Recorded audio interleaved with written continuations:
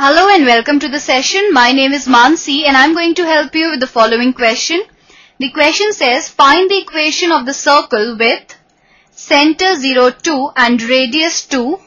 So let us start with the solution to this question. First of all, we see that equation of the circle with center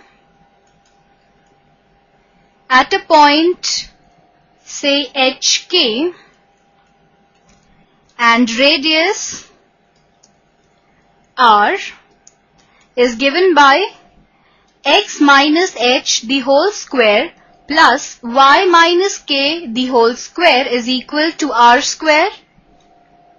Now it's given to us that center is 0, 2. That means hk is 0, 2 and radius r is equal to 2.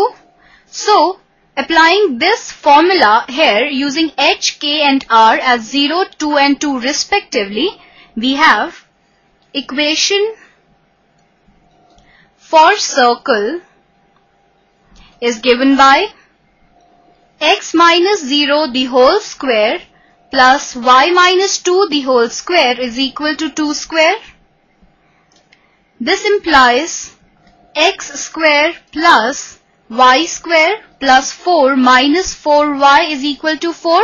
Here we have applied the formula a minus b the whole square is equal to a square plus b square minus 2ab.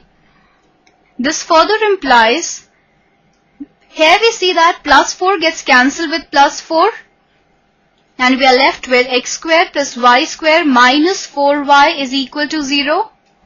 So our answer to the question is that the required equation of the circle with center 0, 2 and radius 2 is x square plus y square minus 4y equal to 0.